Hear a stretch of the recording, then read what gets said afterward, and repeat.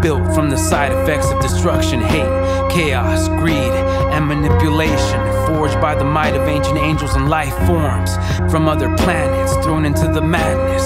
They try to prevent it before it even happened. Breathing radioactive, mental, physical captive.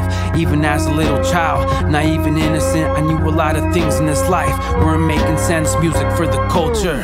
We're synonymous. Someone said in the future they'll probably honor us. On point like the horn of an alpha male rhinoceros. Dangerous, phosphorus, poisonous, preposterous. They're not listening, man, they're missing it. That shit in Flint, Michigan's not an isolated incident. Sacred view of the world and all existence. You can't get to the truth through deception. Burnt out from all the talk and criticism, judgments, pressing the let me live button.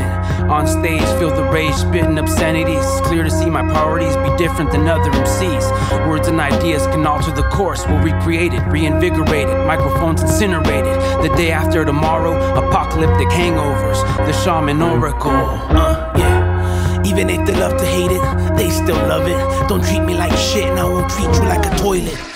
Watch out for those raw to make your peers start to question your motives. Cause the company you keep's energy is contagious.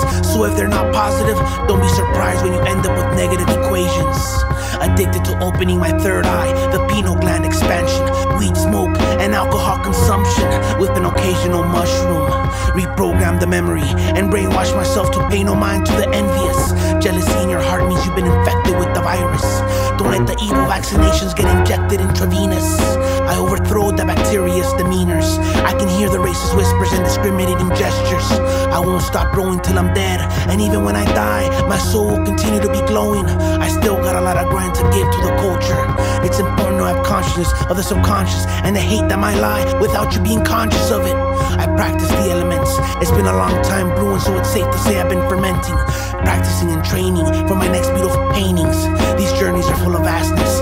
My word life on a projection of everything that happens. Happens. Happens. Happens. Happens. Happens. Now that you have